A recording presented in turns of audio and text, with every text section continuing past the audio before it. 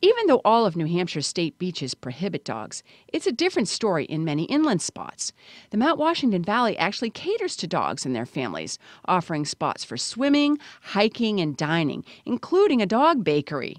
There are dozens of dog friendly lodging establishments, and they'll give you tips on the best swimming holes for your four legged friends. The Admiral Peary Inn even has an open door policy for guests' dogs, allowing them to roam the inn while their owners are out.